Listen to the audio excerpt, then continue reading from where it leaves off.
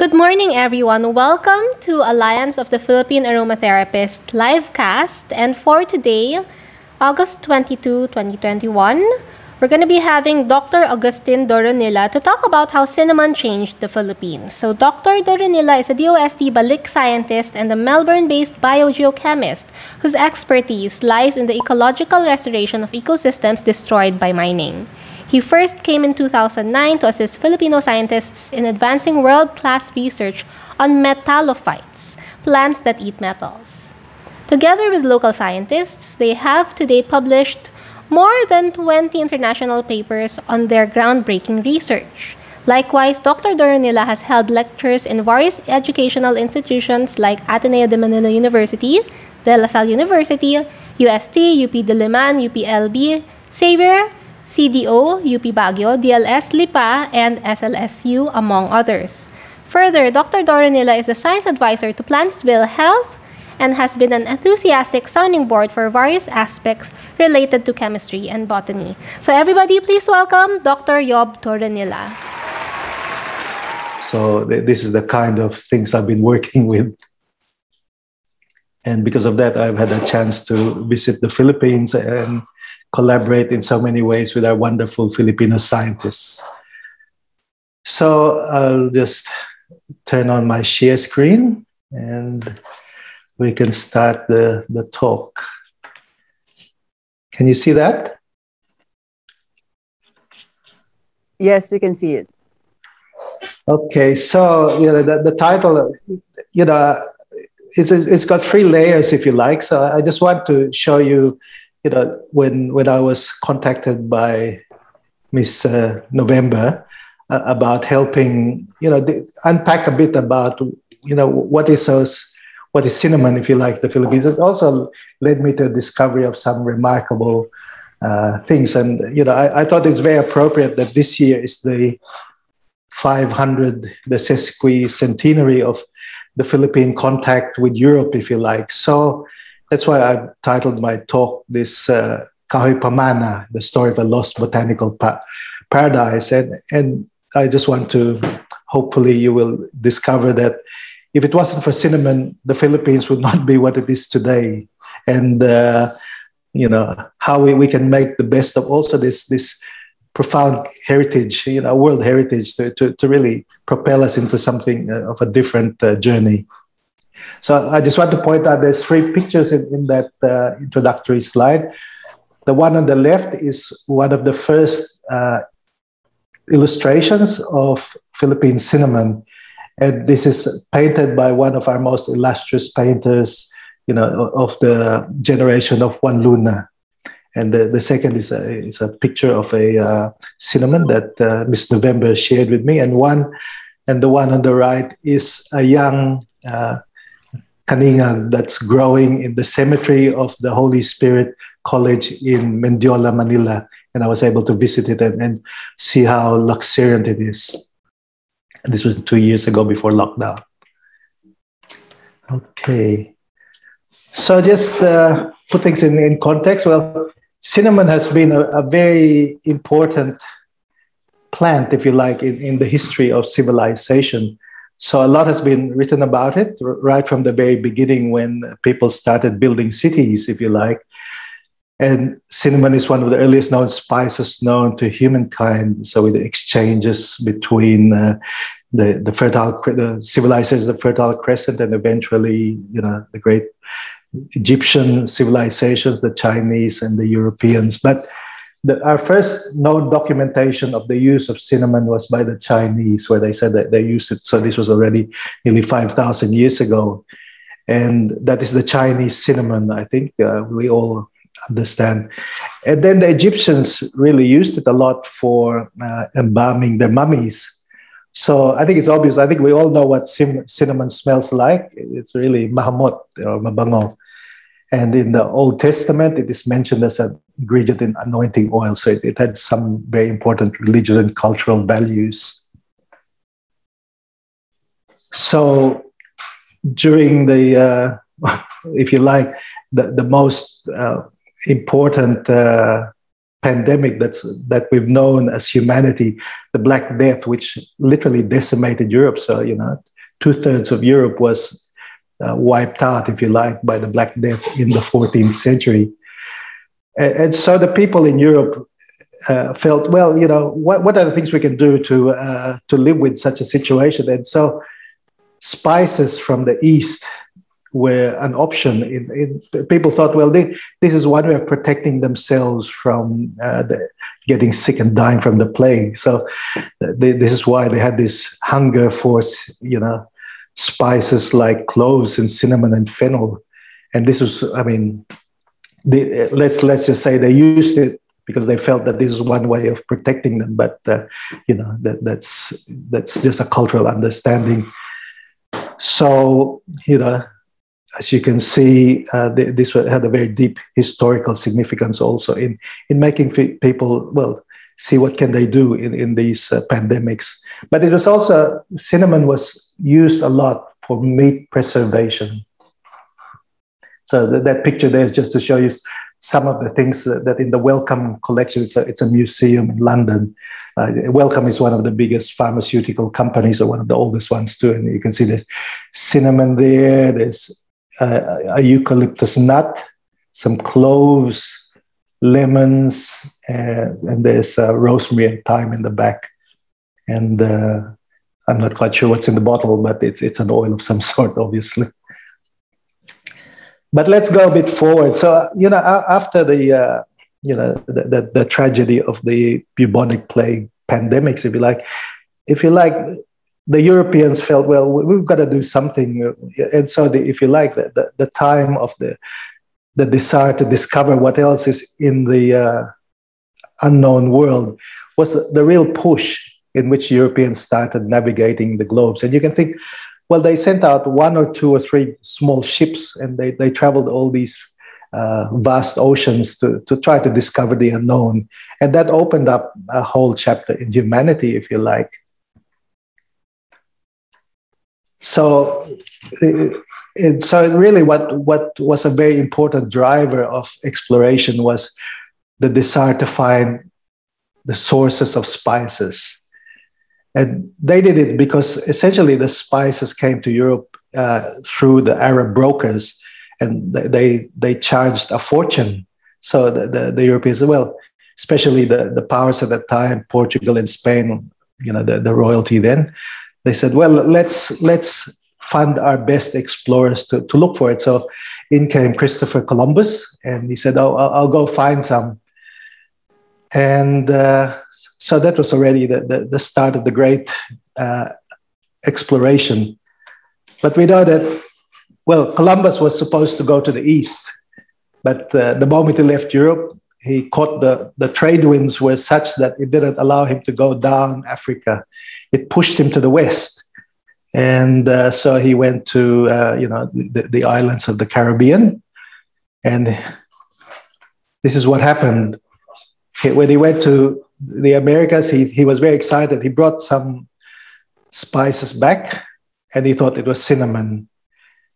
But then uh, when he brought it back, the people back home in, in uh, Portugal said, well, it smells nice. It smells like cinnamon, but it doesn't taste very nice. So that was that was the, that was the first uh, lack of success in the discover in looking for a new source of of these spices.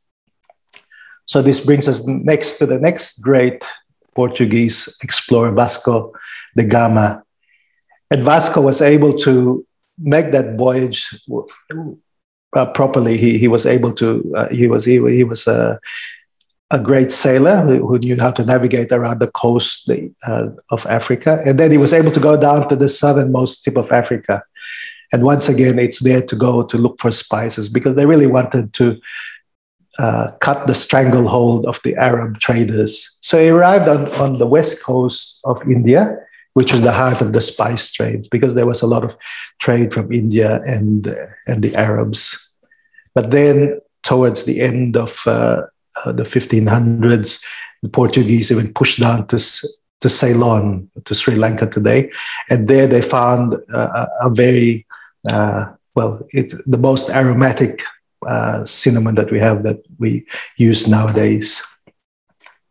So this is what he did. So he traveled from Lisbon to the Cape and then to Calcutta. But then you see that little island there of Sri Lanka. That's that's you know, eventually the, the Portuguese were able to do that, and, and they did it in a very violent way. They essentially overthrew the uh, Sri Lankan uh, kingdoms and uh, just took over it. But then it started a trade war between the Dutch, who eventually threw out the Portuguese, and the Dutch cornered the cinnamon trade.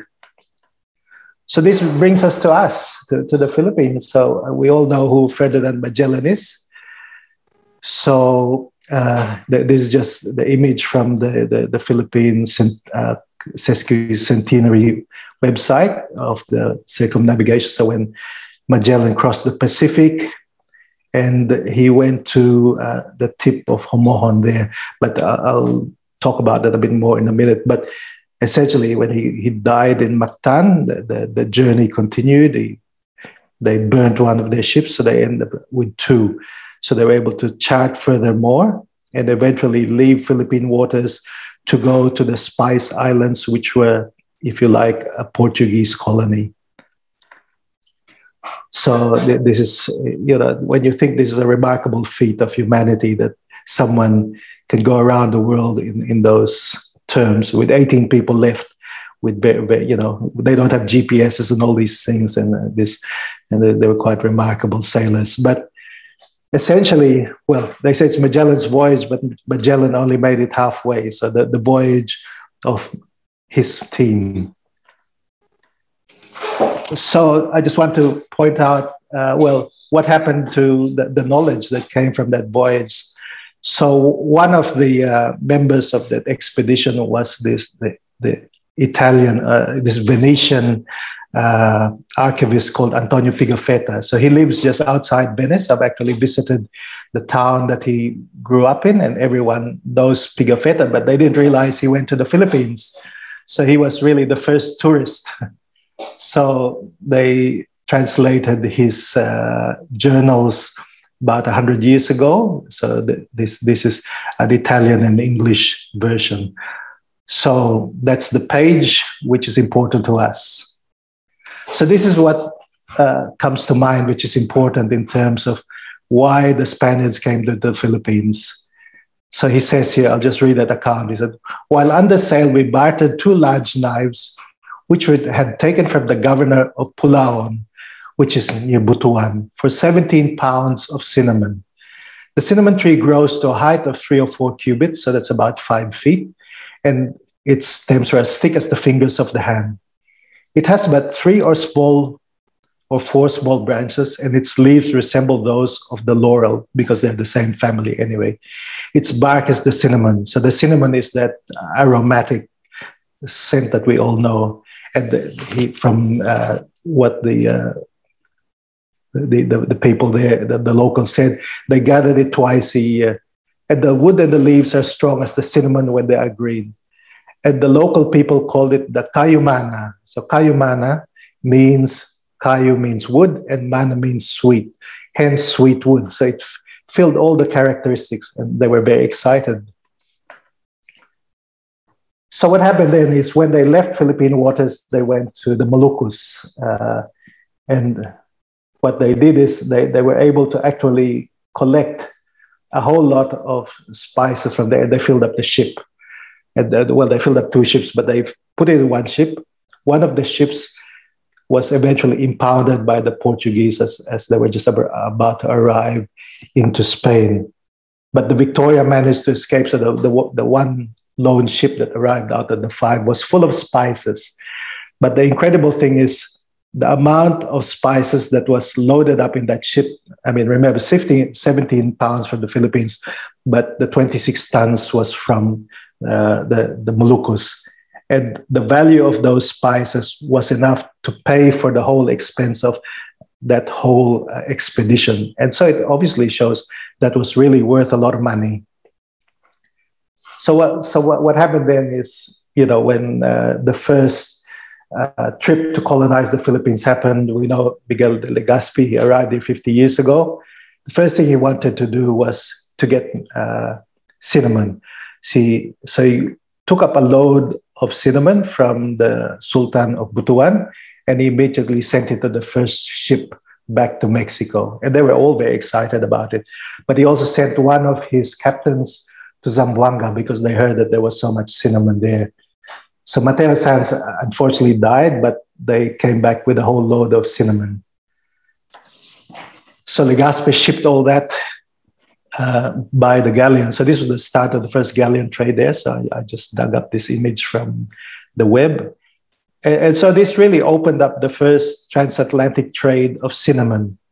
But the interesting thing is most of the cinnamon that was then trans, you know, traded over the 250, 300 years of the galleon trade didn't come from the Philippines.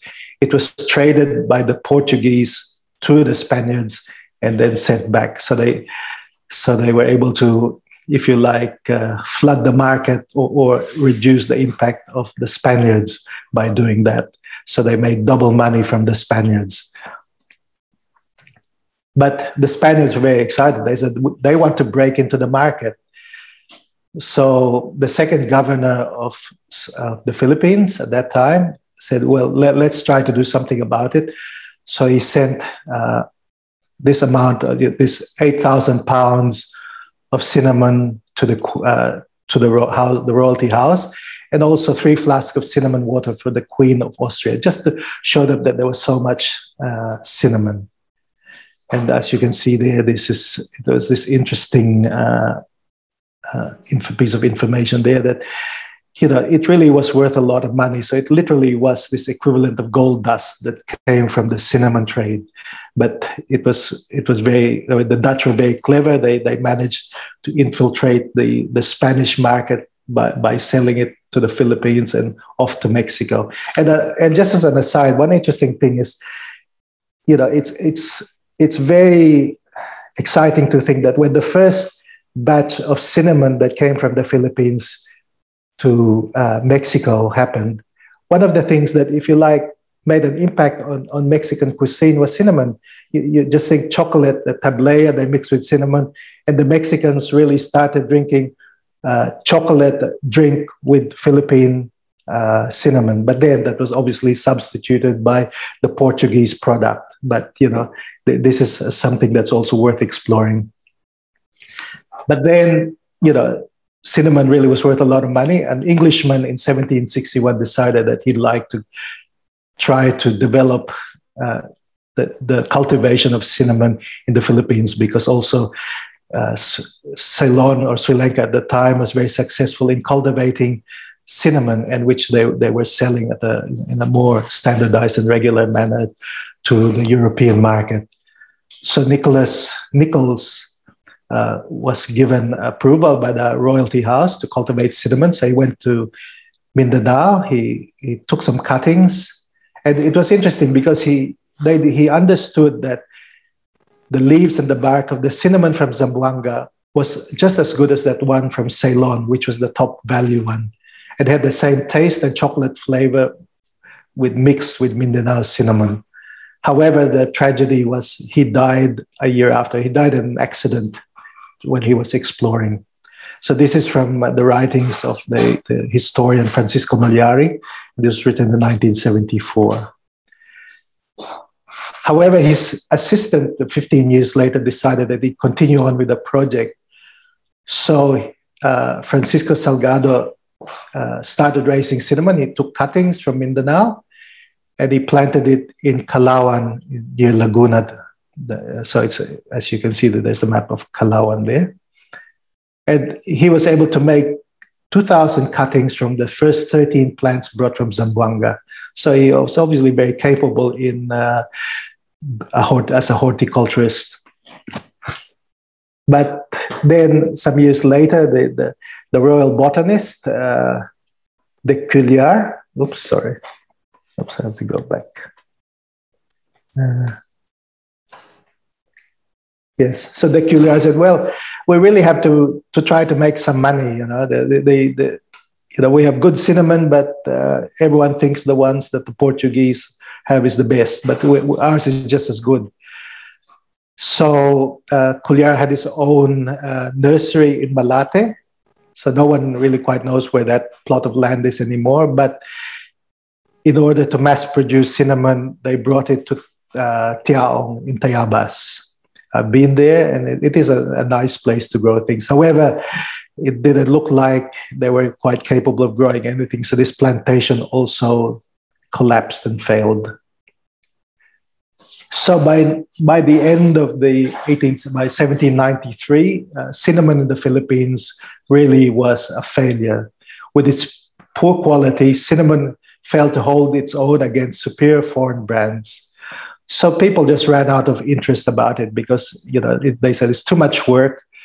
And I like what uh, Francisco Mallari said. Said the end of the industry came at last in the 19th century without discounting selfish personal interest, government apathy, graft, and corruption. It seems that the lack of technical know how was one of the leading factors that killed a promising industry, which could have possibly converted the Philippines into a major rival of Ceylon as a world emporium of cinnamon. So this was an incredible loss of opportunity that uh, you know that people have noted, and that's why, in many ways, cinnamon is not part of the well, our culture in many ways because uh, people have just forgotten that is. And then Miss November has told me in her uh, personal dealings with people, ask them why they, what is it about cinnamon? And they say, we don't really, all we use it is pangatong. It's, uh, it's obviously it would smell very nice when you burn it, but you know that is the lowest value that you can get from from wood. So this brings me to uh, the next part of my talk. So, you know, if you look at it, 500 years of lost opportunity, but it just shows you in many ways what happens to cinnamon is also what is happening to many of our uh, native plants because we have so many plants which have very important botanical value. I, I'm glad I'm talking to aromatherapists because, you know, what you are doing is because you, we can smell these powerful scents that are produced by plants. I mean, we, we are innocent uh, bystanders in many ways of the effects of, of, these aromas and scents, but you know, plants, you know, to our understanding, have have, have these scents in order to, to allow effective reproduction or also to to stop uh, microbes from infecting them, if you like. But we, we reap the benefits of these very powerful compounds that plants synthesize just from carbon, hydrogen, and oxygen, basically. So for us now in 2021, we really have a unique window of opportunity to save our cinnamon species, which are, for, for quite a number of them, are almost extinct. So cinnamon tree conservation programs have recently emerged, and it literally has been recent, you know, really in the last five years. And you know, by doing something about it, we are empowering local communities to conserve remaining natural cinnamon populations. We can mass produce them and plant new seedlings and develop cinnamon products that can be sold in an ecologically equitable and self-sustaining manner. So I just want to show you some of the interesting things that you know our government departments have tried to do. So, for example, in 1992, there was the DNR actually looked into the possibility of uh, utilizing cinnamon. So they came out with this uh, uh, document. So for, as a recommended planting and harvesting, and then very recently 2017, there's this very nice manual which you can download over the web. And as you can see, there are 25 species of cinnamon in the Philippines. And uh, the, the, most of the cinnamon, the botany of cinnamon has been done by uh, who is a, a very eminent uh, taxonomist. He's deceased now, uh, who lived in Borneo. But just to give you uh, something out of the, the that uh, booklet, they, they highlighted three promising cinnamon species that could be used for possibly uh, products. And the, the, interesting one is the one on the right, which is cinnamon burmannii or mindanense. And I highlighted that the bark is closely allied to cinnamon zeylanicum, which is Cinnamomum verum, because uh, it has the potential to be something of that quality. So it is in its appearance, taste, and odor seems to be just as good as Cinnamomum zeylanicum. And we found out in Cebu, they have a, a, very interesting species there, and the most common one is cinnamon mercadoi. But I just want to point out, uh, you know, last year uh, I got to know Dr. J. Picardal from Cebu, and I, I made him connect with uh, Miss November, and he was very happy to share his, his knowledge. So I'm very pleased that we have our own Filipino expert on cinnamon in the Philippines. You know, so it, it's been a long time that we, we've needed an expert. And so he's a young scientist, up and coming academic who needs to be supported. But one of the important things that came out of his studies is the classification of, uh, well, the vulnerability of the cinnamon species. I just highlight those three major ones. Like, so the most common one is Cinnamomum mercadoi. From that value there, it says it's it's probably present in 100,000 square kilometers. The, the land surface of the Philippines is 300,000 square kilometers. So possibly it, it's been reduced in its distribution by half, if not more. But the most vulnerable one is Cinnamomum cebuense, which is seems to only grow in 700 square kilometers, maybe even less. But possibly because of habitat destruction, and Mindanensis is also quite low, but we don't really know how far it has actually grown. And uh, now this is an opportunity to try to go to grow it. And so, if you also look at the potential of cinnamon, well, one of the things I want to point out is if you look at the, the top producers of cinnamon in the world, Indonesia, China, and Vietnam produce the most. But Sri Lanka, which is the highest value cinnamon, only produces probably a tenth of the world's cinnamon, but it is the most highly sought after. Our Cinnamomum uh, mindanensis, uh, uh, people say, has the potential to be as good as that of Sri Lanka, but we don't we know very little about it. The Indonesian, Chinese, and Vietnamese ones is the one that's literally everyone knows uh, all around the world as cinnamon powder. Now, if you look at the import export value of cinnamon in the Philippines, we import 29 tons and export six tons. The world produce all these top producers produce in the thousands of tons. So you can reasonably say we have the potential to even grow our own and, and really create a market for for us in the Philippines just from our own products if we knew that it was good good to be used. So last week, uh, no, two weeks ago, Ms. November talked about her wonderful project, and she's literally, you know, with, with the, the people of uh, the, the farmers of uh, Don Salvador Benedicto have have planted more than 11,000 uh, seedlings of cinnamon. And this is the start of, of, of a, a, local industry, if you like. And this is, the, this is the Philippines' largest cinnamon planting program. And this is done through a private, uh, you know, a private uh, venture, if you like. So shows that it's possible to do something. But now I think I'll, I'll go to the, well, the reason why I'm here. I was asked to talk a little bit about the chemistry of cinnamon.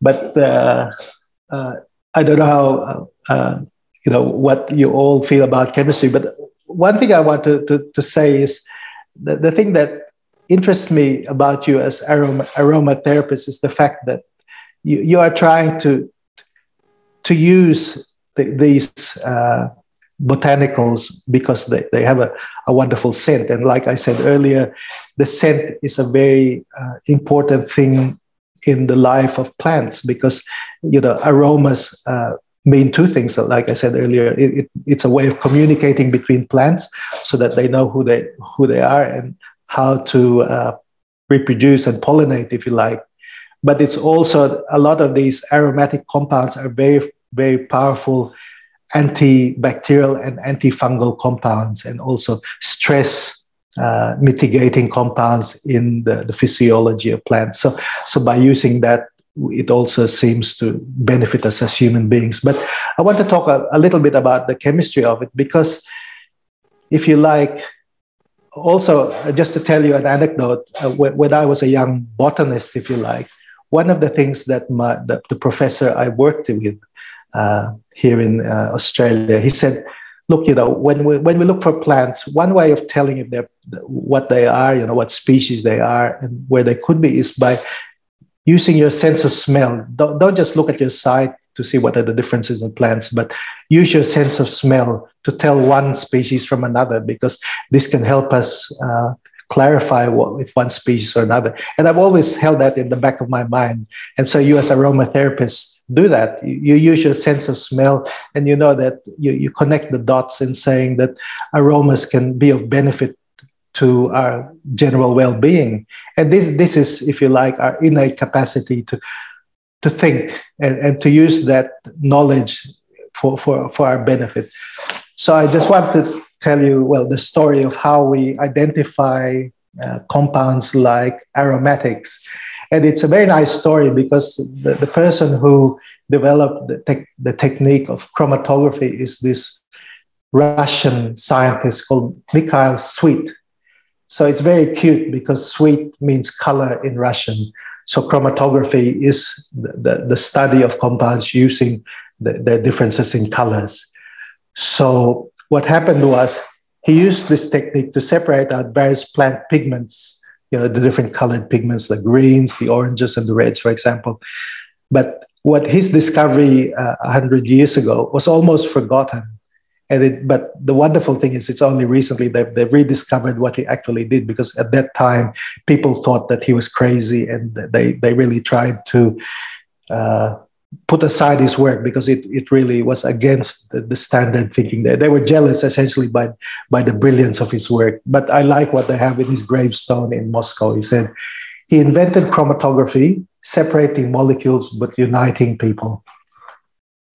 So I just want to show you what he did, and and you will uh, hopefully you'll see the relevance to that in terms of you as aromatherapist. But what he did at the beginning, so if you look at the left side, he had this column filled with powdered limestone. So he he crushed the leaf, uh, uh, an extract of leaves in alcohol.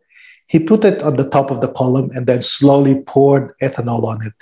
And over time, what happens is the different molecules with the different colors separated out because you know obviously they've got different sizes and the way they're attracted to the uh, to the limestone makes them either go slower or faster in that column so after a certain amount of time they will separate out and you, he could see the colors so so the chlorophylls they're the greens the the xanthophylls the yellows and the, the carotenoids the orange and this was such a brilliant uh, technique that he developed. But people said, no, it's not possible. But you know, it took a long time. But people copied it. So it comes to us now in a modern form. So this is the instrument that I use in my work to, to identify uh, organic molecules, essentially, you know, these essential oils, for example. And we use the same technique of chromatography.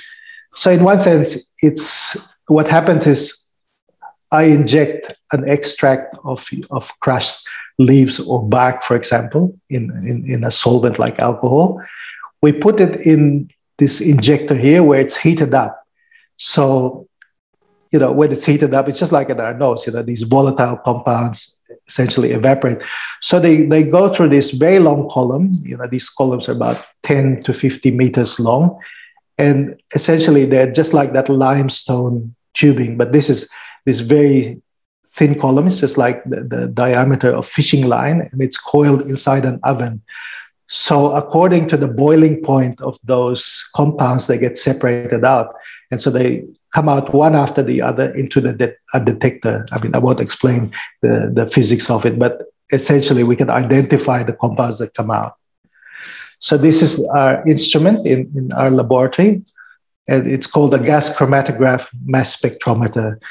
But what we have in our lab is something that is uh, has an extra because this instrument on the right hand side is essentially a, a weighing pan which is subjected to temperature. So what we do is, for example, we get a piece of cinnamon cinnamon bark, we put it in this ther- thermographic analyzer, and and we look at the temperature in which the compound eventually gets decomposed and there's this black tube that goes into the gas chromatogram, which will anal- analyze it. So, in one sense, you can say we, we actually have these instruments that are called electronic noses. So, if you like, our nose can identify so many different smells. So this is what this instrument does. Well, it tells you what the instrument does, but it doesn't tell you whether it's nice or not. It just tells us what it is. And so that goes back to spices and aromatic plants. You know, it's for cooking, and it's also for cosmetics, and it's also for as as for you as aromatherapy. And uh, you know, people have tested over the years to see what are the biological properties, such as antioxidants and micro antimicrobials. So now we go to cinnamon. So cinnamon is the name of the many species of trees and commercial spice products. And uh, there are 250 species in the genus Cinnamomum. So they're in the family Lauraceae, so like the bay leaves or the laurel. And there are only very few cinnamon spices grown commercially, you know, species that are grown for spices. But even to this date, cinnamon is a very important spice. It's it's it's fourth in the consumption in the world. So after pepper, garlic powder, and thyme leaves. And what gives cinnamon is its specific aroma is this compound called cinnamaldehyde. So it's an aldehyde. So it's this. This is the chemical structure for it. It's carbon, hydrogen, oxygen, and it's in the essential oil. So the the, the volatile oils that come from uh, the, the bark and the leaves. Essentially, the oils are, are in little bubbles, if you like, that are oil glands in the leaves, and in the bark, they, they just put there, they're transported there, they're, they're fixed there and absorbed in the wood, if you like. And another important compound is eugenol. It's a it's an al- alcohol. Well, it's got this uh, cyclic structure, and it's a, it's a it's a type of an alcohol. Now, I, I, don't know if you know the word, but this the word organoleptic. So, cinnamon is one of these compounds which is organoleptic. So, it is uh, it defines certain compounds that, that really turn on our senses, if you like, because we can taste it, we can see the color, we can smell it, and we can feel it. You know, if it's oily, you know, it, it's slimy, if you like, or oily. So th- these are very important compounds that essentially we humans are attracted to. And the essential oils of cinnamon are can, uh, some of the most important ones are terpenes. So these are organic compounds. There's, there's uh, the, the structure of one of the most common ones, which is called limonene, that, which is the most common uh, terpene in uh, citrus. And this is just the, the formal structures where they have 10 carbons or 15 if they're sesquiterpenes or C20s. So terpenes are very important compounds that the plants synthesize, and they do a lot of very important things. So the, the major biosynthetic blocks for plant steroids, for example. So cinnamon or cinnamaldehyde or cinnamic aldehyde, you know, occurs in the bark of cinnamon, camphor, and cassia trees, and that's the structure there. And, and at the moment, there is a very strong debate about the type of cinnamon that comes from the different uh, trees from different parts of the world. And as we know, the most important ones are the ones in Sri Lanka and they called it cinnamon verum. This is the, the, the latest change. Essentially, the, the, taxonomists were forced to say, well, call it cinnamon verum because the, the Dutch insisted that this is the only true cinnamon. But it's just a question of branding, while the rest of the cinnamon, and most likely our ones, are related to the Chinese one, which is Cinnamomum cassia. But as I said earlier, it's interesting that people say that cinnamon, Cinnamomum mindanensis seems to be much more similar to cinnamon verum. So that, that is something very good for us in the Philippines to explore. So cinnamon verum has more of the terpenes, which are, are the ones that are the most uh, aromatic, most fragrant. But the cassia oils have these compounds called benzaldehyde, methoxycinnamaldehyde, and coumarin, which people are trying to understand well how much of that is uh, should give us some concern because one of the issues about some some of the cinnamon is too much coumarin is bad for you essentially. You know it, it can by perception well it, it can harm your liver if you if you take a lot of coumarin but then there, there needs to be a lot more studies to show whether you know the coumarin that is in different uh, products of cinnamon species is actually doing harm to people. So this is a very intensely studied aspect at the moment. and no one knows anything about the Philippine uh, cinnamon. In fact, just to give you an idea, so looking at the, the GCMS, this is what we come up. So on the left, you can see these are some of the structures, but when, when I do an analysis, we come out with this graph with all the different peaks, which essentially say that these are the compounds that are coming out from the extract. And so I, I'm just showing on, on the right hand side a more simplified form where you're comparing the, the extract from the leaves and the extract of the bark of cinnamon verum.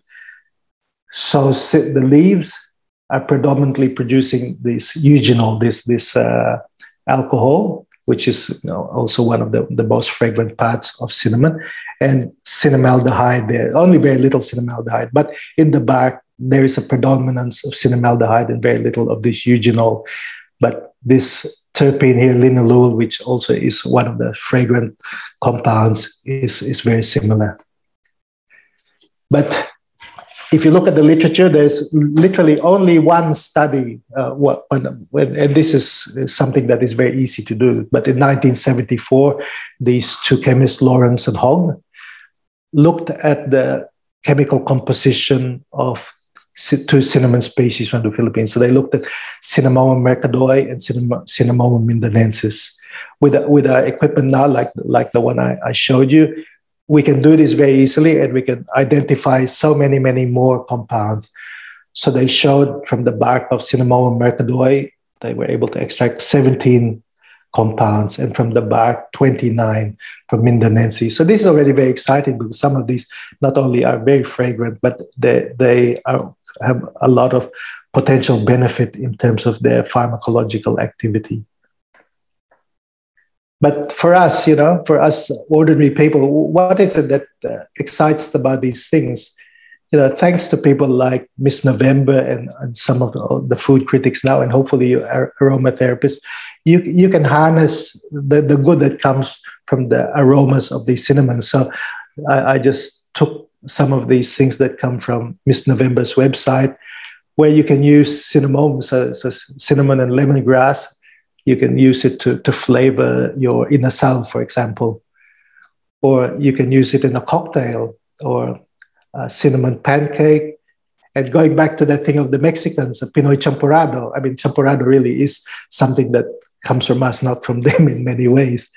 But, uh, you know, the, this already, just looking at these pictures, give you such a sense of well being. And then using the cinnamon leaves as, as a condiment for uh, what's this? Correct me if I'm wrong, Mr. November, but this is a adobong pusit, isn't it?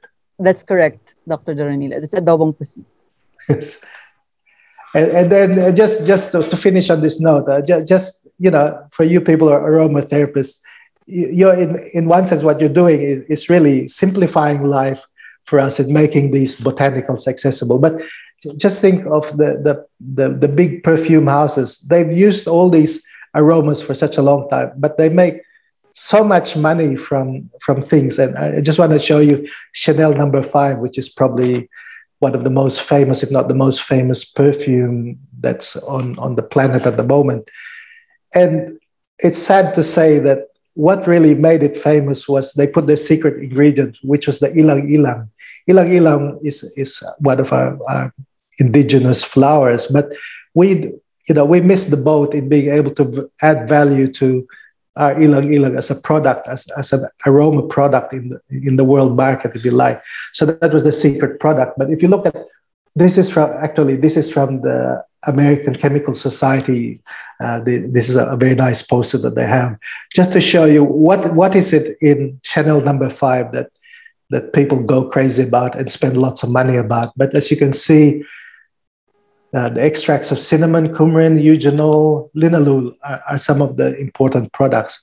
And in many ways, it's, it's quite easy to, to reverse uh, engineer this thing because we, we have the instruments, but obviously, you know, you cannot do that legally. So I wouldn't recommend it to anyone. But it just shows you that aroma is something that we have to value. And, and uh, you know, I, I give it to all of you as aromatherapists that you are trying to understand what is it in these aromatic compounds that can be of benefit to us in our normal everyday life. So I would like to thank you. So. So I'm open to questions.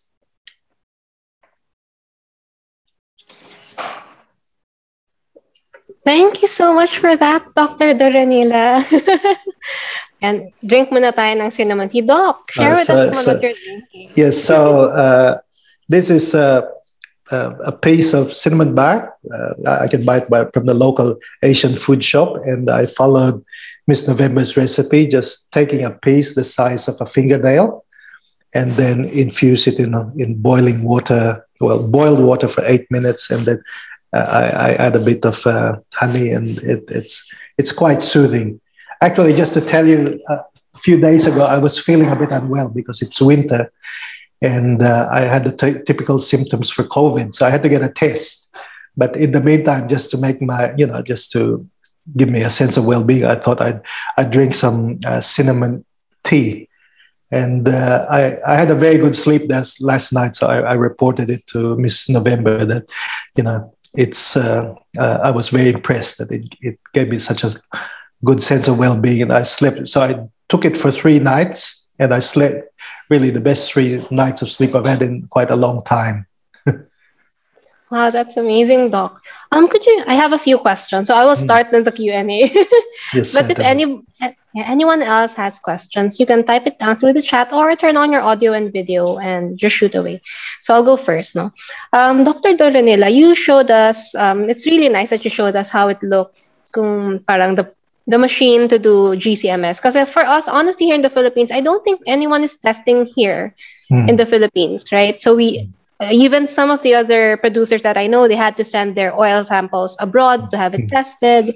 And with our Philippine cinnamon, you showed us that the bark would have the typical cinnamaldehyde and the leaves would have eugenol. Could you please share with us, for the benefit of those who doesn't know, um, what are the like therapeutic or what are the benefits for eugenol and cinnamaldehyde? Like if they take um, cinnamon bark tea, like what you're doing, so what can they expect from it?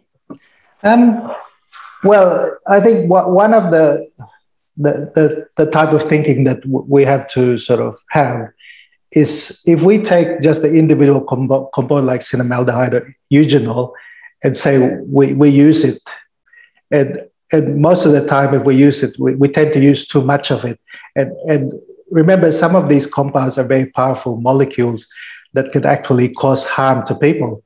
But if you use it uh, if you like, as an extract of a botanical, it's probably not in, in a concentration that will do harm to people. Because remember, an extract is not just cinnamaldehyde or eugenol, but it is the composition of many, many other uh, essential oils and aromatics in that compound. And in one sense, I like what you do as aromatherapist because you are trying to be careful in looking at what could be a dose which could actually harm people. And now it's only now that we are actually trying to quantify properly what can be done. But usually you do it only at one at a time because we are not capable yet of looking at the mixtures that are in, in natural products that are an individual good or bad, if you like. Take, for example, I mean, I, I like the, the fact that, uh, if you like, one of the most important botanicals we have is aspirin. Aspirin is an extract of the, the willow tree. So it's a salicylic acid, which is a very important plant hormone and also an important uh, compound that does a lot of benefit for the plants. But thankfully, it also does good to us human beings. But when we only started using uh, uh, aspirin, if you like, or salicylic acid extract just on its own, obviously it, it was good for our headaches and but then they realized it was bad for you because it actually thinned your blood but you know, this is one of the challenges of modern medicine is it is so reductionist. So, you know, what you're doing also gives us a chance to step back and actually look at things so that we actually use things in moderation too. And, and so, me as a chemist, I, I personally cannot say if it's good or bad because that's not my job. It's the medical scientists who are trying to look at the causation, if you like.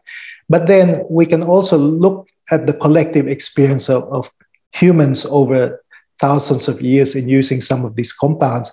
And so, in many ways, what you as aromatherapists is doing is asking us to, to go back to simpler things and in, in many ways also telling us we have to have a healthier lifestyle because if we overload ourselves with one thing it's bad for you. I agree with you 100% um, dr doronila somebody is raising his hand. Peter do you have a question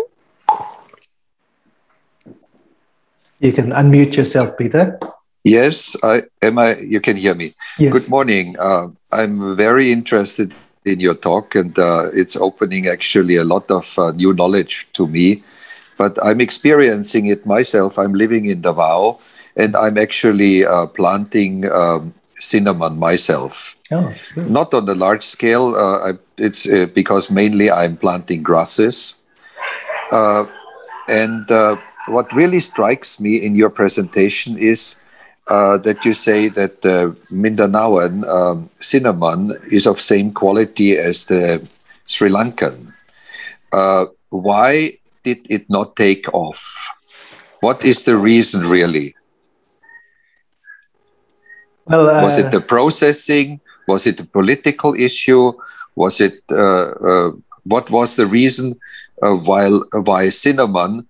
I grew up in Europe, so cinnamon was all around mm, me. Yes. I'm, I'm you know, Christmas means cinnamon. Uh, uh, food means cinnamon. Very true. So very true. Uh, uh this uh, uh, this is this is very integrated in my life. So when I came here in the Philippines, I was somehow very disappointed because there's no spices around anymore. Mm-hmm even if you go into the into the Philippine slow food, there's missing out such a lot. I'm searching for for for uh, nutmeg uh, duguan seedlings. I cannot find it. You know, it, it's, it's really stunning. So why did the cinnamon not take off from the Philippines? Was it the processing, or what was the reason in your idea? Well, I, I, I can only hazard a guess, but you know, in my reading, it is so fascinating to, to see that such such a wonderful scented uh, plant has has not entered into our, our, active culture today. And one of the things I think I talking to Miss November, there is a lot of anecdotal evidence saying that they, they, they've actually some people have said that the cinnamon is actually a bad tree and, and, so they said to cut it down because it brings you bad luck. Isn't that right, uh, Miss November? Can you hear me? Uh? Yes, that's uh, that's true.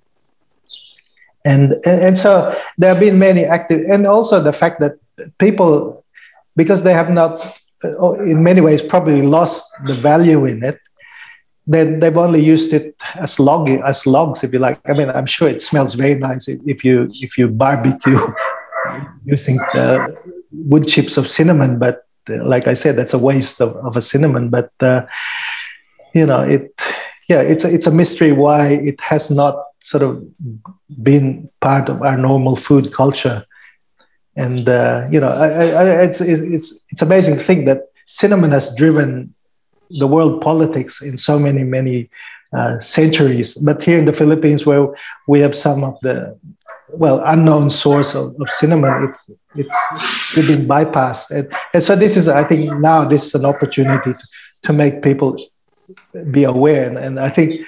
Uh, I encourage you, Peter, to get in touch with Miss November to see if you can do things. You can have some synergies in in not only discovering where these things are and, and also growing. And one thing I have to say is I would like to encourage a greater input of science. So people like Dr. Picardel to, to really play a part because he, you know, he, he's he's one of our authorities. And I'm glad to see also there is Dr. Maribel Agoo with us because she has also been working a lot with cinnamon over so many, many years. And I see she wants to ask a question. And uh, I, I, would like to ask Maribel if you can make a comment on what Peter is saying about why cinnamon is not part of our food culture in, or, or normal culture. So, Maribel, are you? Uh, yes, uh, yes. I just unmuted. Good morning, uh, it was very enlightening, no? the, the discussion that, that she presented. Yeah, actually, I'm, I'm waiting for a reply from Dr. Madulid with regards to the history of cinnamon cultivation in the Philippines. During the Spanish times, uh, there was a plantation in That's Laguna, mm-hmm. and um, it was doing very well up until the agriculturist wasn't able to get the support from the governor. That was during the Spanish times. Mm, um, for the cultivation and it totally disappeared. We tried to even look for some remnants of that forest or plantation and we can find any um, any of this. So it seems to be political mm. during those Spanish times. But I think um, we just don't we just didn't consider that uh, Mindanaense could be a potential crop, mainly because the product perhaps originated or is from Mindanao, and nobody really has invested again to propagate it. That is my opinion for why it was not propagated or cultivated in the current times. Um, people really don't know that there is such a crop currently, no? But during the Spanish times or early American times, it was considered. In fact, it's one of the crops, major crops in Laguna, even before coffee was introduced. That's correct, yes. Mm. Yes. Mm. That is why when we started to do the research, um, we wanted, aside from looking at the taxonomy, we wanted to have it revived, the interest of people to have it revived, especially uh, because this species, this group of plants, are becoming popular in other countries as aromatics and spices. But the other side of it is that there are literature that it causes cancer. Uh, there's also there are also articles that show that this is really good for hmm. the same uh, part of the body, no, for the digestive system. So we need to screen all mm, species correct. as much mm. as possible to know which is good and which is not good. To think that we are actually drinking it, it's, it's not just um, putting this oil or whatever in this on the skin. No, it, it's something that we ingest. So we we delved into that research before. Uh, Maribel. Some are actually very promising. Mm.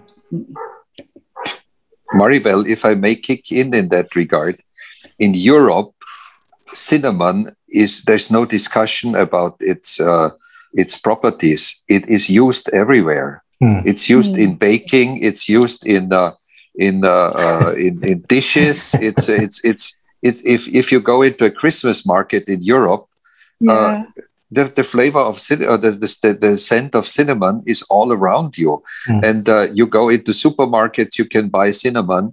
It, it, cinnamon is is there's no discussion about it that its properties are harmful. It's mm-hmm. just all around. It's just uh, uh, my question really is why did it not make the way even to Europe? Because uh, mm-hmm. Sri Lanka is on the same way, uh, and uh, uh, the quality of Mindanaoan cinnamon is obviously is obviously mm. the same. Mm. Yes. So I think Peter, you, you can play a role in this because as uh, Dr. Agoo said, th- there is so much unknown, and we have that opportunity, you know, using all the capacity we have in, in the nation to do this. And, and scientists have an important role to this. And, and, and, you know, in my reading, for example, about the coumarin, because this is the main issue that people are trying to, to come to grips with, they say too much coumarin in, in the cinnamomum from Asia is harmful but when they, the, the studies that I've seen, they cannot even show that well, within trees, the variation of coumarin production between trees in, in uh, Indonesia, in China is so variable. So they don't even know what causes the in, the high amount of coumarin in certain accessions of Cinnamomum cassia, for example. So, so there, you know, this is where plantations come into to play because you, you can factor out some of the things that, and, and you can essentially breed out the coumarin production. And, and so the, these are the things where science can help. Can I uh, say something? Yes, Miss yes. Cynthia, you have a question? Yes, although just some clarification. Uh, Canela, Kalinga, these are the, the, the names that we refer to. Mm, yes. uh, cinnamon, especially in the southern Philippines. I'm from Mindanao. Mm-hmm. And cinnamon is part of my childhood. Oh, cinnamon fantastic. is mother for me because my mother cooks stew with cinnamon. Our lechon has cinnamon leaves, and we drink cinnamon tea. Fantastic. See, I think your problem is you're from Manila, you're in the city, and you don't know we natives in the peripheries eat. You Fantastic. see, I'm, I'm, an anthropologist and I have done oh, wonderful. on ethnopharmacology among Atis of Central Philippines. Mm. The Atis sell various kinds of materia medica, and one of those is the cinnamon. Mm. I don't know what species it is, but one of the ingredient of their materia medica is the cinnamon, and they usually say use it for tea for your stomach trouble. Uh, if you cannot, yeah, if you cannot sleep, it will relax you. You know, so so indigenous peoples still use it, but we people in the cities don't know about it anymore.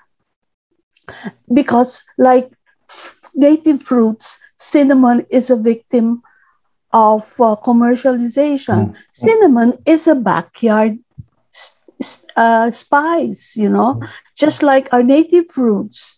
We don't sell them by the by the plantation size like the pineapples and the bananas of Davao, you know. So we're not into this plantation.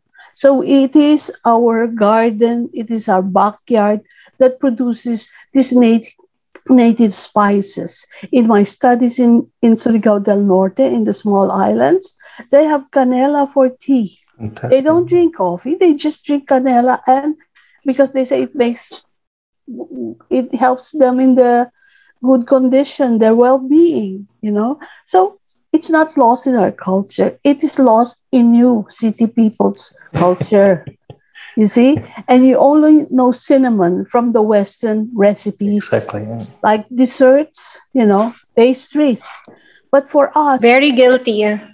but for us in Mindanao, we use it. We use it a lot.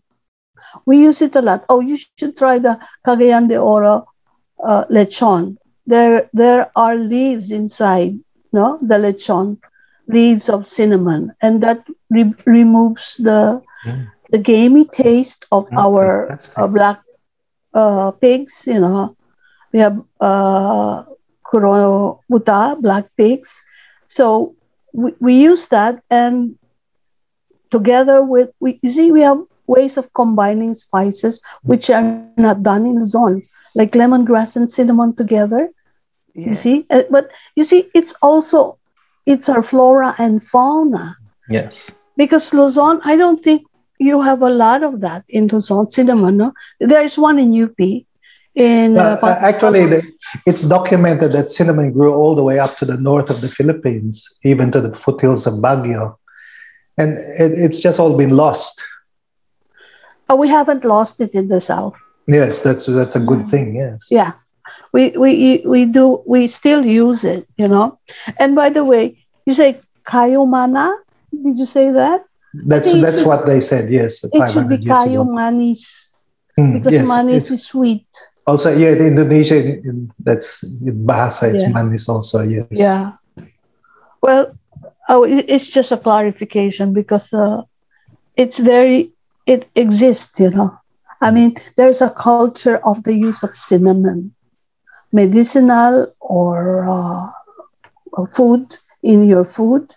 We, we still do it. Yeah. Thank you so much for that, Miss Cynthia. I'm honestly very guilty of that because like I'm very uh, um urban, urban situated. Um, I'm a city girl, so anything cinnamon is honestly very new to me, and that is the reason why we're doing these efforts to provide education and aware- awareness to people because it seems very um, out of touch for us.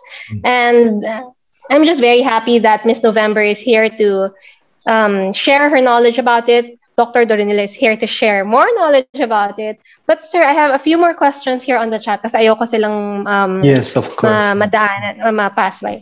Um, somebody's asking, Lou is asking, Lou is also a certified aromatherapist, by the way. So she's asking if cinnamon oil is easily adulterated and are there grades to cinnamon to mark which ones are high quality or not? I think anything is very easily adulterated.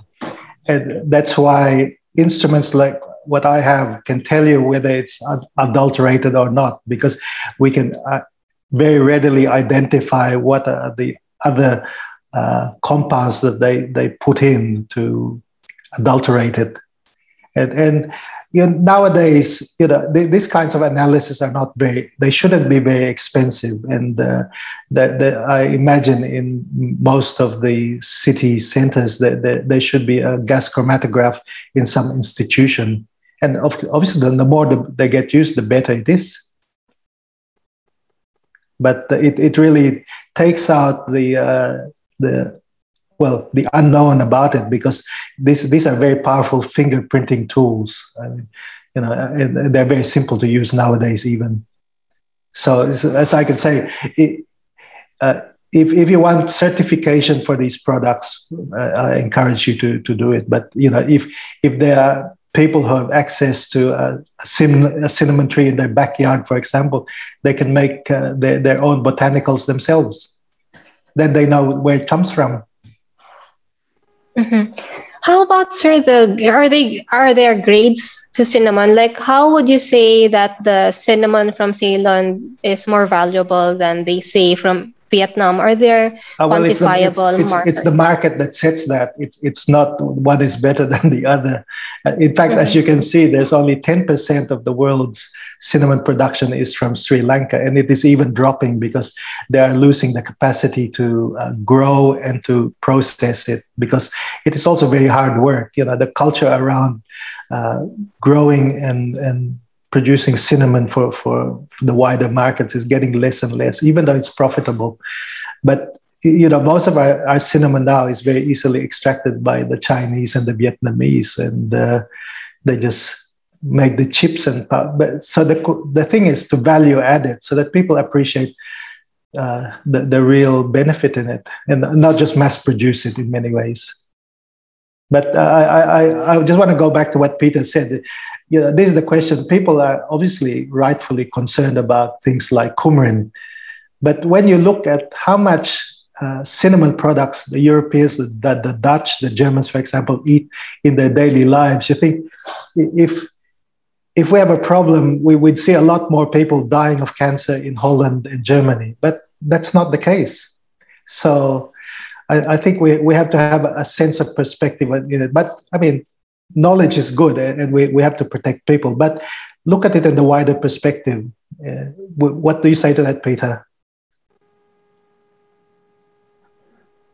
Um, i think uh, um, uh, if i really think about europe uh, there's no question about um, cinnamon of being harmful uh, because it's approved by uh, the, the uh, the food administration. Exactly, it's yes. an integrated part of our life. And uh, uh, if I just imagine you cut out cinnamon uh, from our culture, there's no Christmas scent anymore. There's no Christmas market anymore. Uh, what do I do with my apple strudel? Yes, yes. There there's I need cinnamon for that. Um, if you if you think about uh, a Greek dish, which is a cinnamon stew. Mm. If you think about uh, the whole Mediterranean uh, with the cinnamon tea, uh, it is so uh, it is so integrated in the in the European culture that uh, there's no there's no discussion about it. Mm. You have the mulled wine, which is yes, exactly exactly with, with cinnamon. It's it's it's so in the culture, and it is an approved spice which is marketed on a very, very big scale. Mm. Not, uh, uh, uh, you, you said it's the fourth most important spice mm. in the ranking. Mm. So um, I would I would really disregard all this all this um, discussion about is it harmful of course if you have too much of it everything can be harmful that's right i agree um, so um, uh, i would not try to be entangled in that mm. um, i think we, we, we should be clear it's an important spice and what can we do and what can uh, can be done with it uh, I think that's that's probably the the most hmm. important thing yes. to to think about. Yes, yes. I, I think it, it's so obvious. It shows that there is an opportunity for the Philippines. You know, if, if you think we one million ex Filipinos, balik balikbayans, who live in countries which eat cinnamon, if you can just access a little bit of that uh, catchment, how good it would be for the Philippines, you know, for all the farmers who would grow cinnamon. You know, so people like Miss November are, are, really doing an important part to try to, to be a driver in making this something that is of benefit for the local people also. So, and, and, you know, us who live outside can can do our part in, in this way by using Philippine cinnamon. Thank you so much for that, Peter and Sir uh, Dr. Doronila. I actually brought out my cinnamon barks here, and I want to push naman all the negative part of cinnamon. I want to bring bring forth all the benefits and positive sides of Philippine cinnamon. Perhaps Miss November or Miss Tina can share with us how do you handle the cinnamon bark? How do you actually uh, make the tea for for city um you know city girls like me? Thank you, Jirbie. Uh, first of all, uh, thank you for organizing this event. No, uh, I would really like to uh, affirm what uh, Ma'am Cynthia said, no, that the culture of cinnamon is never lost in the Philippines. Mm. I challenge anyone here, you go to any town, you find a stall of the ATI or the IP, I bet you they have Philippine cinnamon. So that's one. So it's never lost. In fact, um, I also challenge you, you go to any uh, IP community, you will find cinnamon. So basically, the IP tribes have become the guardians of the Philippine cinnamon because the cinnamon is, you know, like really gold, no? Because of uh, its powers, its medicinal and food and cosmetic powers. It has become so commercialized. So so that's one. In fact, and I think that uh, in the Philippines, they don't even make a distinction of the, not much distinction of the kalingag as, doc, as India said. They don't call it cinnamon, they just call it kalingag. So it seems like from my observations in the communities, by the way, the project that we have now in DSB is really the seat of the ATI in Negros. Mm. No? That's why they have kept the cinnamons alive. Uh, also to Peter, uh, to answer your question, why has cinnamon disappeared in the Philippines? And I told Dr. Doronila about this. One time, uh, we have a project with World Vision Philippines of planting cinnamon in Cebu. And then when I went up to the mountain, I know that the topography, in that, that, that topography, the Philippine cinnamon would really uh, grow. But we have been searching for cinnamon for one hour and I cannot find any.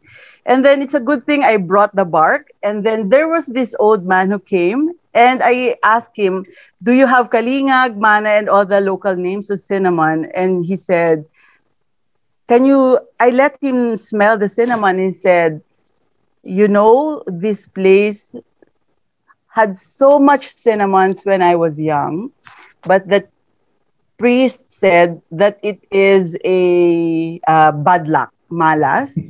So they ask us to cut all the cinnamon trees. Mm. So if you go now in the lowlands, there is hardly any Philippine cinnamon. And it is only the IP tribes that kept the Philippine cinnamon, kept it growing and uh, did not cut down the cinnamon. So, so that's it. And the third point, as to your question, Jirbie, um, your question is how do we get no the Philippine cinnamon? So actually, that uh, when you, I also would like to affirm what Dr. Doronila said that we have to take hold in terms of owning the Philippine cinnamon by planting one in your backyard because you can use the bark and that you don't even have to wait for the bark. You can wait, uh, you can use the leaves for your tea, for your food, for your lechon, as what people in Mindanao until now do. Uh, so for that bark uh, in particular, no. So first is you have two ways to harvest the bark from the tree. You, if you have a mature tree, you can harvest the stem, and from the stem you can uh, wash the stem, no, take out the small stems and the leaves, and then um, scrape out the outer bark, and then you loosen the inner bark by rubbing two woods. And then you make an incision and then you peel off the inner bark. And then you uh, air dry the cinnamon bark. Don't put it under the sun. It will uh, degrade the flavor. Uh, in about two weeks uh, if you don't have a dryer it will dry out. And then you can pack it in uh, very tight containers to preserve the cinnamon. The one we harvested for uh, in 2017 until now smells as good so that will last you a long long time but uh, I but the uh, dried cinnamon is nothing to the fresh cinnamon. So I encourage everyone to please plant one in your backyard. Thank you so much for that, Ms. Tina. But again, I will reiterate this question. I know I asked this uh, to you from you na kanina umaga. Um, I have Ms. Tina cinnamon bark samples here, and I do notice that there are white um, specs here. Just for everyone again who's in the city who might not know any better, um, sir, uh, Dr. Doronila or Miss Tina, could you please share with us now? This is okay. This is safe not to be uh, simmered and prepared as tea, or is this not? Uh, is this molding or or what? Oh yeah, that's actually when you go, you can you can eat that, uh, but uh, you won't uh, have uh, tawag dito. You won't be able to get the maximum effect so, uh, as I instructed you earlier, I suggest a gel for 400 ml or two cups of water. And then once it boils, you lower the fire, drop about one uh, pinky size, one gram. Just take one gram of cinnamon per day and then simmer it five minutes. You will know it's good when the red hue comes out and it's uh, really aromatic. Dr. Doreen, Can I share say something? Yes. I think somebody wants to share. I think I think it's Miss Miss Cynthia wants to say yeah, yeah, something. Okay. I just I just want to let you know I always have a cinnamon sticks in my bag. You know what? every time. If you have stomach trouble, you can just chew a little. And if you think you oh. are having bad breath, you can also chew. Then you will smell like cinnamon when you talk. It really helps. Wow. Yeah. You can choose. How about the storage, um, Miss Cynthia or anyone who can answer? How about the storage? Should we keep this away from sunlight? Should we put um, silica packets well, can I say some, Can I say something uh, from from uh, the point of view of a chemist? well, remember, all these compounds are what are called volatile organic compounds. So, in other words, they they, they you need a bit of warmth to, to let it become a, a, gas essentially. So the best thing to do is keep it in a cool, dry place. And uh, will, it will last a long time. In fact, this is the good thing about uh, cinnamon bark. I would rather use cinnamon bark than, than, cinnamon powder because cinnamon powder, after a while, you're just eating sawdust or, or drinking sawdust. Because the moment you crush up a compound, a lot of the volatiles do evaporate out.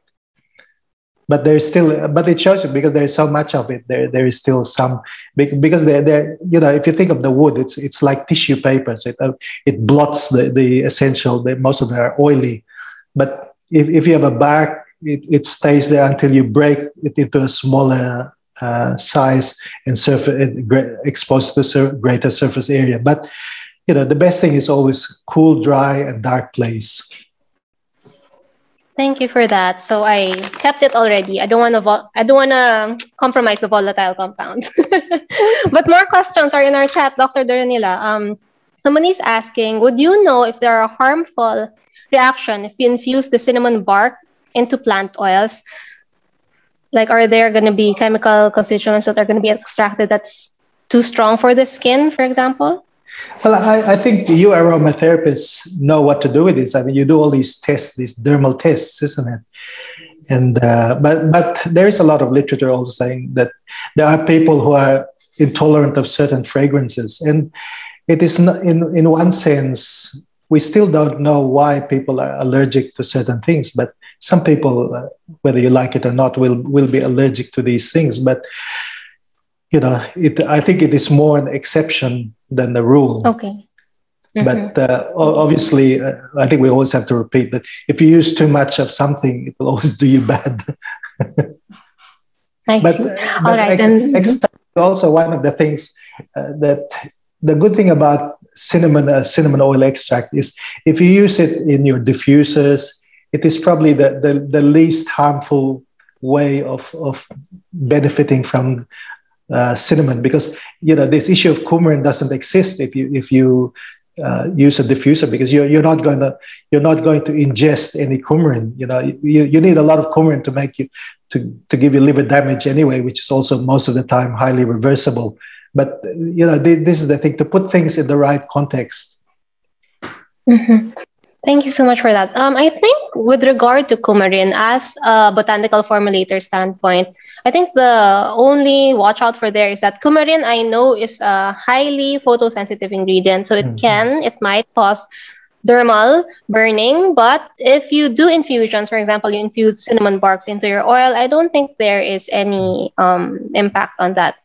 As regards to using the essential oil itself, that is why there are um, pretty low dermal limits for cinnamon bark. Okay? Um, for everyone's knowledge. And then, here are some of the questions. Mama, medyo may konti pa, sir. Tapusin lang natin. Sorry, ano na tayo, over tayo. okay, are you familiar in what soil, climate, or topography the Philippine cinnamon grows?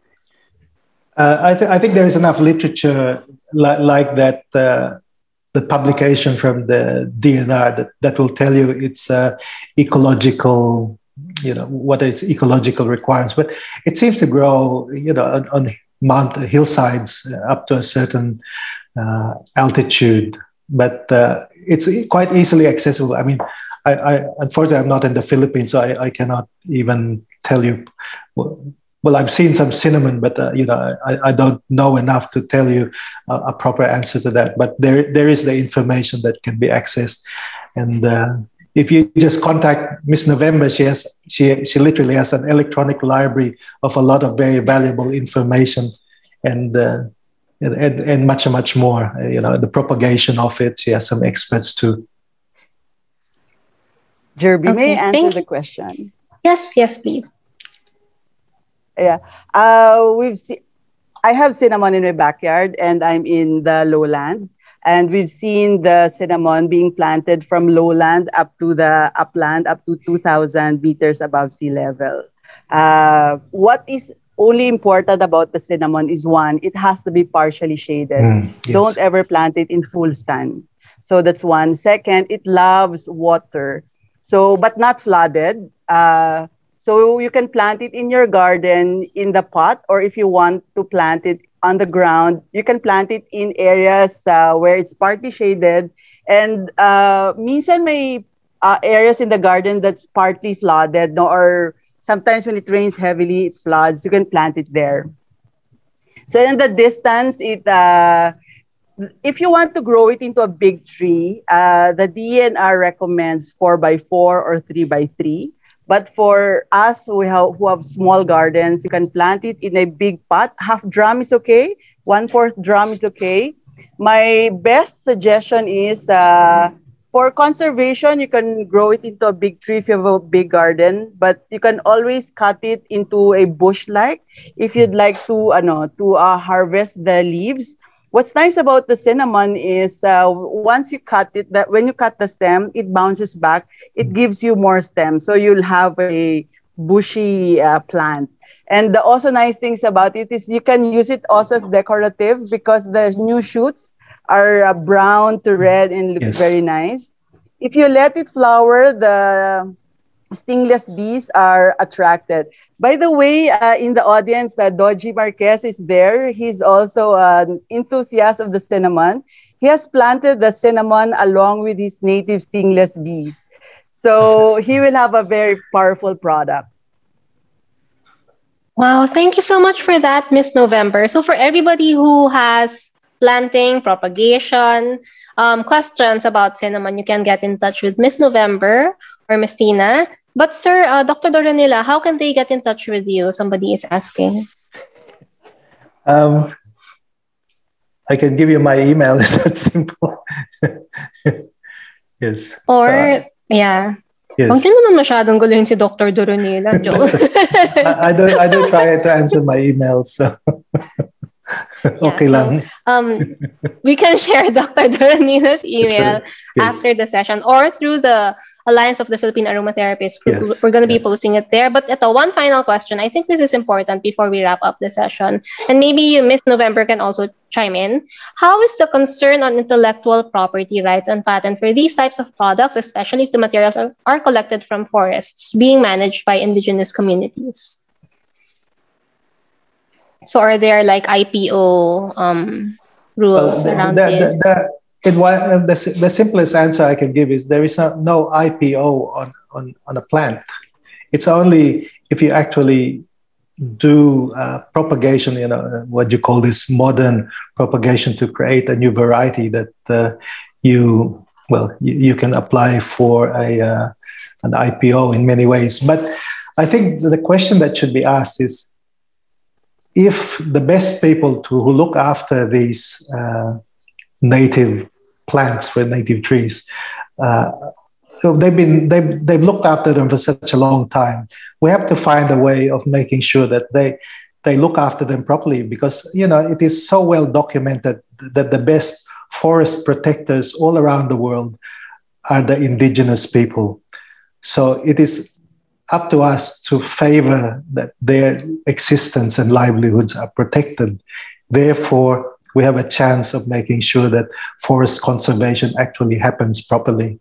And you know, it's to, for the benefit of all of all of humanity.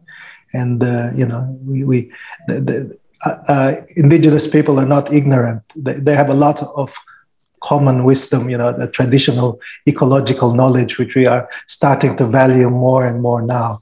So to be able to access that information in respectful manner and to give them the, their rightful place in being custodians is what I think we should do. I agree, sir. I think that's one of the troubles in living in the modern world. We are so concerned of who gets to be the first IPOs and patents. Mm-hmm. And I, I'm I'm also like baffled because like for the people here, they don't want to share how they distill things. But in the US, when I talk to other aromatherapists, they're very open. Like, oh, this is how we gather the plants and this is how we process the distilling. Dito talaga lahat ng nakakausap ko parang eh bawal. Or I I do have to sign NDAs at times. So But okay, I, I respect that because me, I am from the city. I have zero knowledge on how to plant and process these things. So I just, you know, watch and learn. But yun lang, I, I noticed that a lot. Na parang there's always a concern of protecting how they do it. Na parang shouldn't shouldn't it be like parang dapat you have you have to promote it so that everyone can can can plant and propagate. Parang if you want to really drive um and education and awareness, shouldn't you be sharing those knowledge? Yun lang. How about Miss um, November or Miss Cynthia? Maybe you can yes, chime in, Miss Cynthia. No, I think the problem here is uh, when one unscrupulous planter patents the particular species coming from an indigenous land, that becomes a problem. It happened many times in the Amazonian Brazil. Mm, exactly, yeah. You know, and uh, big corporations have patented indigenous people's plants. So I think we have to be careful about this. Mm. Hmm. I see you. Okay, that, that's kind of sad. May I answer also? yes, please. Yes. Yeah. Uh, first, from what I know, we cannot patent the plants here in the mm, Philippines. Exactly. We can only patent the design of or the process of uh, yeah, or the process or of planting. Mm-hmm. No, uh, the reason for that, uh, I actually plants. I already pat- I already applied for the patent for the distillation of essential oil and aromatic water. The reason for that is in the Philippines, if you don't patent it, and someone patents it, you can be blocked from your own uh, discovery. So uh, that's why we have to patent it. So that's why I already applied. But whether or not I will collect from my patent is up to me, no? but it is patenting is a protection. So I uh, I think the the tawag dito, the for for the IPs there are many uh, technology business incubators that you can um, contact to help you apply for your uh, patents. No, uh, if you don't know any, you can contact me.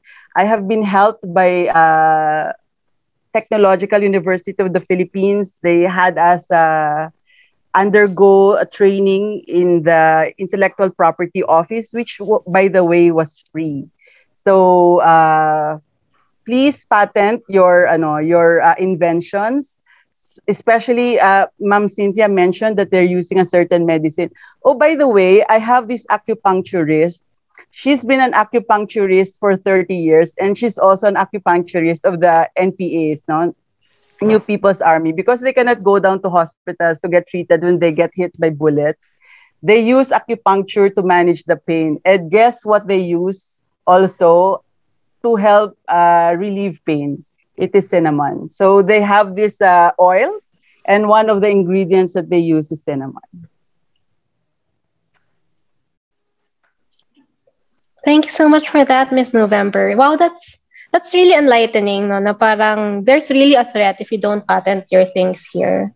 Um, anybody else? Final questions, Wala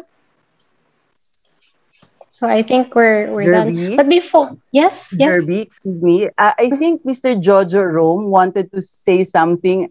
Uh, Jojo is head, is founder of a home farming club in the Philippines, and we are in talks to do to replicate what we are doing here in Negros, uh, in Davao, because he's also uh, working with the IPs. Jojo, please uh, introduce yourself. Sir Jojo, please come on on, on stage. I'm asking you to un- De, unmute na. Unmute. Ayan. Unmute na? Okay. Yes. Uh, your video, you can turn your video on. Okay. Uh, start video. Do you cannot start your video because the host has denied. Okay. Start my Ayan, video. ask okay, start. Go. There you Ayan. go. Hi. Hello. Hi. Ay, ako si Jojo Rom. Salamat, salamat Ma'am November. Um, masaya ako na narinig na part ako dito na tama yung narinig ko kay Ma'am Cynthia and and to the speaker also na ang dami talagang benefit ang cinnamon and then one time pumunta kami sa sa Pakibato is a rebel infested area for the last 40 years. And it was until Ma'am Irene Santiago, who is together with us now, she's, she's part in this uh, uh, meeting, na nag-surrender ang mga NPA and then one of the projects na ginawa namin is to introduce to them the urban container gardening or home farming uh, home farming para sa mga mga mothers na uh, nagpapakain sa kanilang mga anak. And then, uh, a month after or two months after na nag-introduce kami ng container gardening, sabi ko, I need to go up to the mountains uh, of Pakibato to check kasi yung sa home farming kasi is more on the subsistent level lang siya. Uh, grow what you eat, eat what you grow. But after that, ano yung magiging uh, uh, ano yung after nito? Kasi pagkain lang okay na. Assuming na nag-grow sila ng pagkain uh, they will be uh, ano na sila busog na sila. And then the hunger is resolved at the household level. Pero yung enterprising nila yung enterprises nila paano sila masustain masustain itong program ng uh, Peace 911 o mm-hmm. the the the peace work of, of, of the above city with the with the uh, rebels kung wala silang livelihood. So sabi ko, we need to, uh, tawag dito, meron tayong uh, natural resources mapping. So nakita namin doon, kasi bago bago yung Peace 911, mayroon akong mayroon akong kaibigan nagbigay sa akin ng cinnamon. Sabi niya sa bundok na ito makikita. And then pumunta kami doon, dala-dala ko yung bark ng cinnamon. So nag nag nag-check ako doon ano yung pwedeng magiging ano yung endemic ng mga kahoy doon o uh, mga trees with uh, pharmaceutical value or medicinal value na pwedeng pwedeng abundant doon na pwede nilang magiging livelihood later on. So dinala ko yung cinnamon hoping na ma ma, ma, ma-check ko kung ano na talaga available uh, present ba talaga itong uh, cinnamon sa Pakibato nag-meeting kami with the, with the community, isang community doon, hindi nila alam. No? Kung mayroon man nakaalam, dalawa, tatlo. Out of siguro mga 60 katao na nag, nag ano doon, attend, uh, dalawa lang yung may alam, yung matatanda, mga matatanda. Sabi sa akin, uh, ano yan? Sabi ko, amoy ninyo. Pag pangalanan mo siyang sinamo, di nila alam. Pero pag ipaamoy mo sa kanila lahat, pasapasa sila, yung iba, may question sa isip. Pero yung alam mo kung sino yung may knowledge tungkol doon. Kasi, ah, mayroon ito dito sir. So, siguro mga dalawa tatlo lang ang may alam. Kadalasan matatanda. Sabi ko, sino yung may alam dito? Ano yung pwede nyo ba i-share sa, sa lahat ng mga tao dito na may ano na na ano yung pakinabang nito? Sabi ng isa, sabi niya, gamot ito sir. Ito yung ginagamit namin. Kaya hindi kami bumababa sa syudad para bumili ng ng gamot noon dahil mayroon ito dito. So, ibig sabihin, mataas talaga medicinal value. Sabi ko, alam ba ito ng lahat? Eh, sabi ng iba, yun na nga, hindi namin alam yan, sir. Kung alam lang namin, hindi na sana maubos yung pera namin kabibili ng kakabili ng gamot. Sabi ko, kulang talaga ang knowledge. And then the second most striking is, yung sabi ng isang, yung, di ko lang pangalanan, di ko naman talaga alam yung ano, pero yung isang sabi na dato doon, sabi niya, lumapit siya sa akin, paano kami magkakapera dyan? Mag, mag, ano ba daw ako? Magkumpra ba? Sabi ko, hindi ako komprador ng cinnamon. Sabi ko, kung ang sa amin lang dito is alam nyo ba ito at saka alam na ba ng lahat, yun lang yung sadya namin dito kasi before natin ibenta ito sa ibang tao o sa i-export or ano yung ano natin, is dapat makabenepisyo muna ang community. Kasi pag hindi makabenefit ang community sa high valued product na ito, it will be the source of conflict. No? Magiging source of conflict siya habang valuable ito sa ibang mga tao, kasi tayo alam natin ang benefits nito. All the benefits, halos lahat ng benefit nasa cinnamon. It's like a pharmacy tree. Is sabi nga ni Ma'am November, is a bullet, silver bullet for uh, parang AIDS or ano cancer ba. So, maraming benepisyo siya na hindi alam ng mga IPs na source nito. Ang challenge dito, sabi ko, is number one, is how to inform the IP community, this is, this is a valuable crop or tree na sila ang may hawak nito at dapat may program ito. Meron akong ginawang parang 7 P's eh. Uh, first P is the, the protection of the standing mother tree.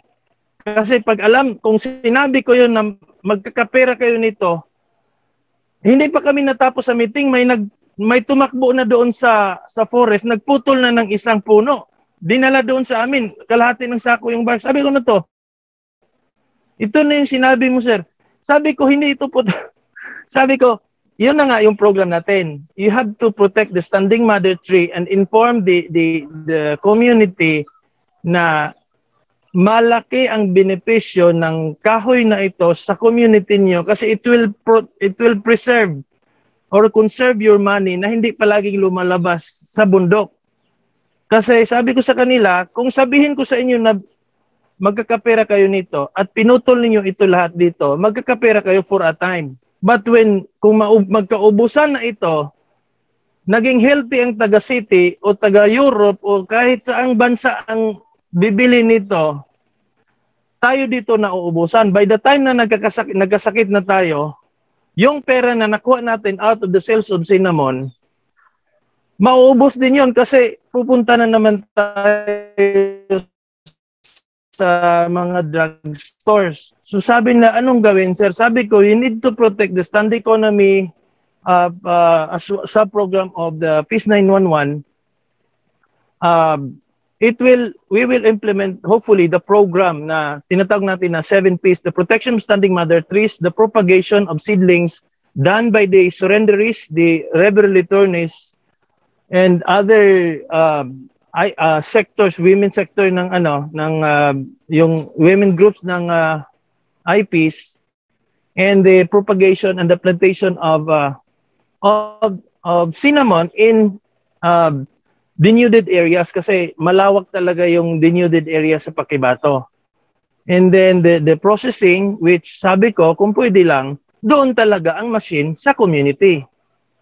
Hindi yung bark lang yung o twigs lang ano yung leaves lang yung i-harvest and then ibenta sa syudad na at the mercy sila sa price sa ano ng price sa uh, sinong mag-set ng price dito sa sa baba sa syudad.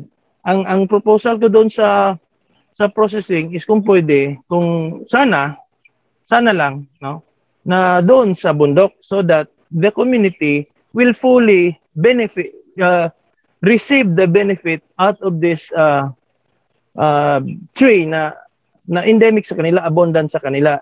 Mm, and then processing, uh, promotion, packaging, and then of course the, the practice of every home yung sinasabi ni Ma'am November na if every home no sa Pilipinas mayroong cinnamon, it will help the IPs have income out of this program, ikan uh, livelihood program na siguro baka makatulong na kung economically well off sila because of the of the of the benefit of this cinnamon siguro it is our it's a it's a way of helping reduce the the the the ano the insurgency again no? Kaya kasi mayroon tayong program na basurrender yung mga mga re- rebels mga NPAs but kung hindi natin masustain ito by uh, maximizing or harnessing the the what they have like cinnamon baka it will create conflict at saka ito na namang tinatawag natin na elite capture. Yung sinasabi ni Ma'am Irene Santiago. By the way Ma'am Irene Santiago is the former uh, uh, chairperson of the GRP MLF pa- panel no? Implementing panel. So siya ngayon yung peace advisor ni Mayor Sara Duterte sa Paquibato na in the matter of nine months, according to the, the Armed Forces of the Philippines, na-clear yung area from the 40 years of insurgency. No? So, ang, gan ang ganda ng Peace 911 but we really need to push cinnamon because it is this is the kind of tree that is abundant in the area and we should uh, implement this program ASAP because this is the only way that they can feel that they can they can have benefit on the bounty of their of the resources no? At itong cinnamon so hopefully this uh, forum or this uh, meeting will inform everyone on the value of cinnamon not on the perspective of magkakapera ba tayo dyan, magkakabusiness ba tayo. But I would challenge everyone to to to to to focus on how this tree can help reduce the insurgency in the country. Because poverty can just be a symptom of a deeper problem which is which is inequality. Okay? So, cinnamon, wag natin siyang tingnan na parang pineapple na oh magkakapera tayo lahat ng pera from Europe comes into the Philippines. Oh, bantay tayo diyan. Because it will create conflict because elite capture na naman. Sino lang ang may alam, ang may control. At sino ang may control, yun din yung hingian ng revolutionary tax later on. Okay? So th- thank you. Thank you so much, Sir Jojo. I agree with what you say. Um, all these efforts are mm. honestly to promote um, education and awareness to everyone. So before we end the session, yes, yes. I would like to invite everyone to join us on our next event. So that's going to be on September 4. Um, we're going to be, for those who are interested to learn more about essential oils, um, we have our first free EO 101 for everyone.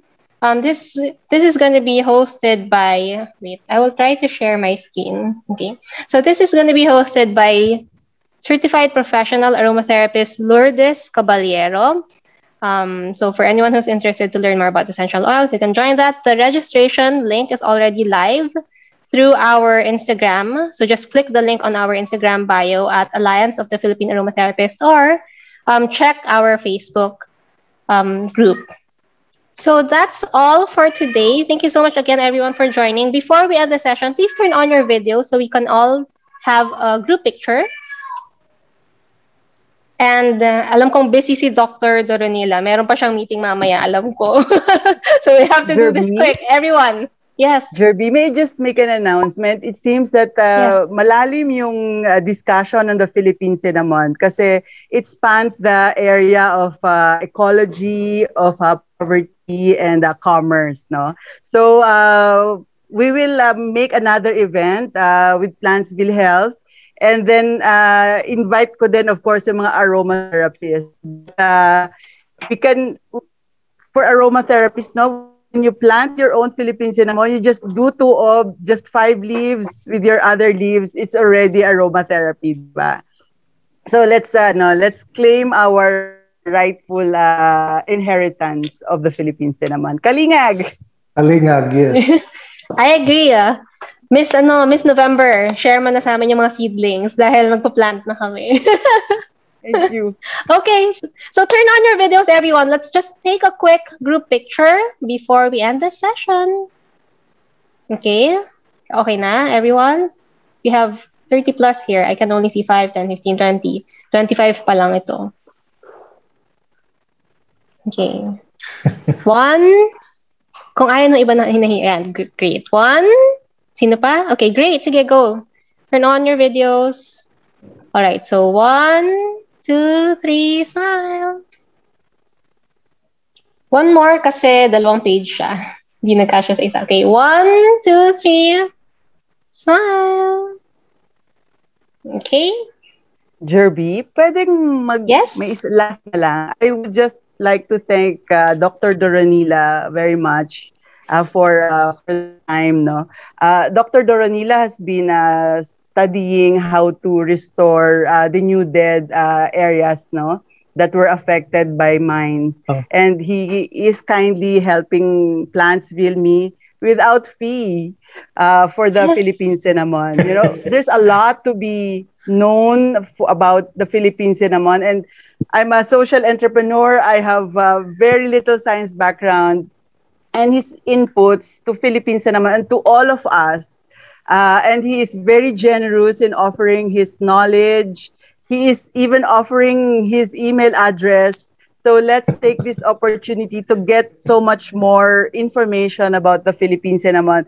But please plant your own Philippine cinnamon. Uh, if you buy from us, I'd be very happy. But the first thing you have to look is yes. check if you also have cinnamon in your locality.